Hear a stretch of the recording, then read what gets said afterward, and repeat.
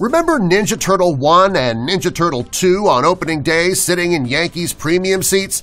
Well, this unicorn and shark costumes may have them beat. Katy Perry's Sharks from her Super Bowl performance and two fans in turquoise unicorn costumes sat in the second row Wednesday night, though they were just off-camera over by third base. All four were part of a prank to send ridiculously dressed fans into the Legends section. The host of HBO Last Week Tonight Show, John Oliver, told his Yankee game ticket winners to dress like they have never sat in premium seats before after a comment made by the Yankees' COO Lonn Trost on WFAN. In trying to defend the team's new home ticket policy, Trost said the fan may be someone who has never sat in a premium location people took to social media about how they felt, and comedian John Oliver held a contest to give away the roughly $1,000 tickets for 25 cents apiece. On one condition, you must dress like you have never sat in a premium location before.